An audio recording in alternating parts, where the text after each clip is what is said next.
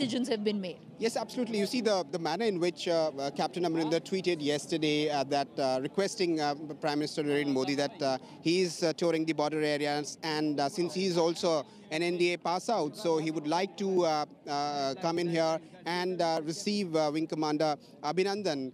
But uh, after waiting for, uh, say, good You, you've been here at the Wagah Attari border, so you might as well know you know, what we are witnessing is something extremely unusual.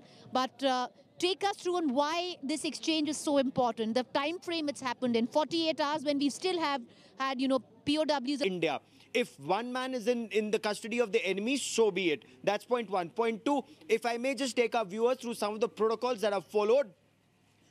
The moment a prisoner comes to the instance of a fighter pilot, because when you eject from a fighter uh, aircraft at high altitude and high velocity, uh, uh, you know, and, and you land, uh, one, there's a shock value, two, uh, there's a shock element, and two, it could have an impact on your spine. So you have to be completely medically examined and ill-treated. Was he interrogated? What kind of evidence or what kind of information is now with the enemy?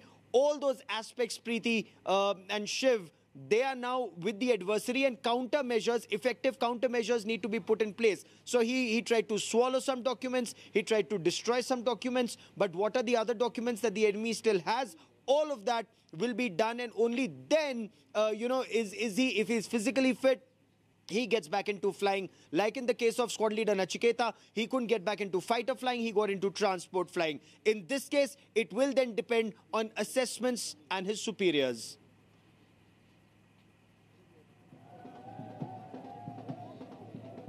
You know, Gaurav, uh, we'll just quickly apprise our viewers. I'm just, you know, uh, narrating what, what I'm seeing.